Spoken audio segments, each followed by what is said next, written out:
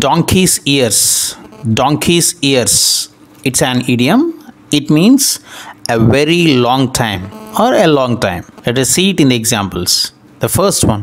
It's been donkey's ears since i spoke to sita and geeta. It has been very long time i spoke to geeta and sita. So i never spoke to them. It has become very long. So it's been donkey's ear. Very long time.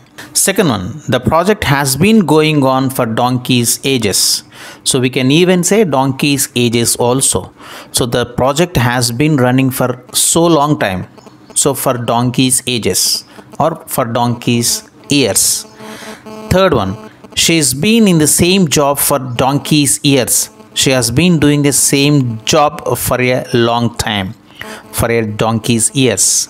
Fourth one, I haven't been here in donkey's years. I can't believe how much the town has changed. So I haven't visited this town for so long time. I haven't been here in donkey's here long time. Fifth one, I have been a vegetarian for donkey's here. I have been a vegetarian for so many years. So for donkey's ears. So when we look at the origin of this idiom, donkey's ears, the expression has nothing to do with the lifespan of a donkey. It has more to with the animal's enormously long ears. The original expression was donkey's ears.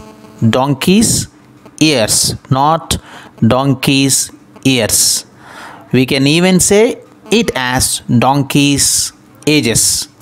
So finally, donkey's ears means a very long time. Or a long time